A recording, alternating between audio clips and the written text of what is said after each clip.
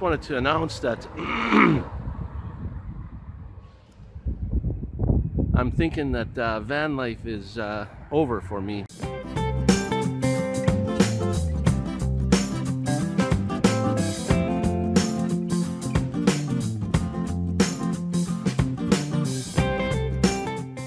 My uh, my van didn't make it through the last little intersection there.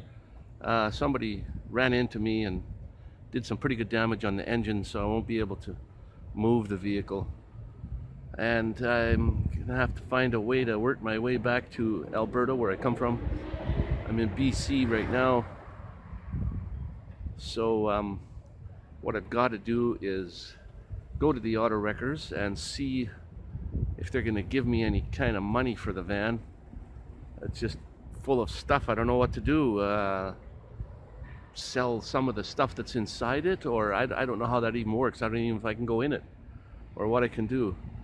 I'll uh, post a picture of what it looks like.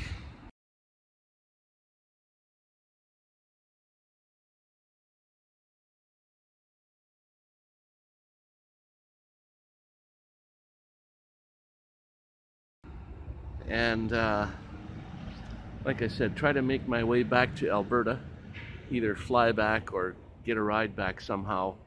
So I don't know what's going to happen. Uh, as of right now, though, it looks like van life is over for me.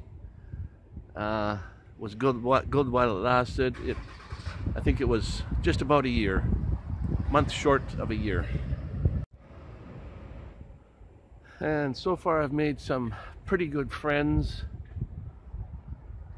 here in Vancouver. Um, Eddie, Monica, his wife, and uh, Bill from Alberta, um, Chuck from, well, from Winnipeg area, but he's now living and residing in Vancouver. So I have uh, quite a quite a few good friends. Timothy is a good friend of mine. Um,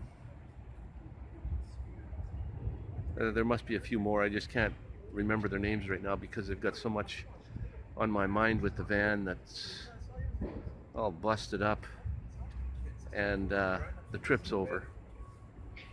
So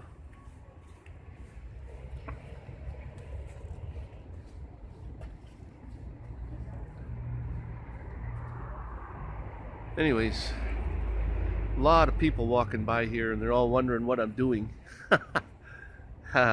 at this park. And uh, I have some friends coming to pick me up. We'll go and have a final look at the van, see what I, if I can get anything out of it or what have you. I don't know.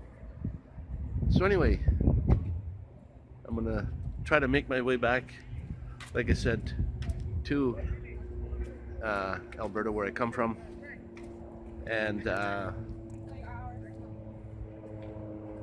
Van life is over for me. So it's over and out, guys.